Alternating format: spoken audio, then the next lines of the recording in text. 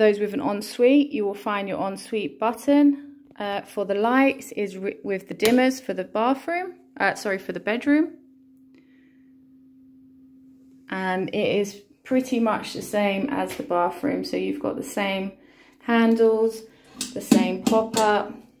Uh, this flush here is a big flush uh, and little flush, but it's just a different style. You still have the maintenance box under here, which you can cut out. Um, unfortunately, this is not a single um, worktop that can be cut out. The whole thing needs to be removed uh, by cutting out the mastic.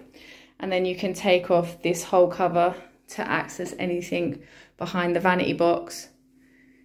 You still do have your shaver sockets for the males, as well as your air sensor.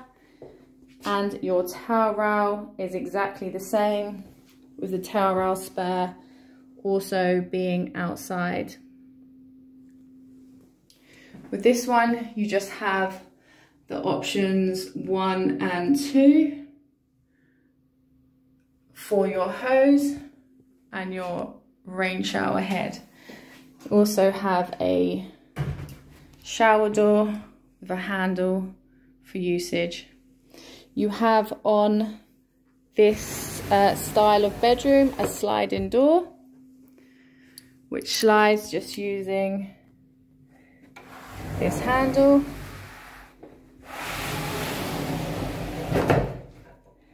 And literally locks via the lock in the bedroom uh, sorry inside the door which then allows you access into the bedroom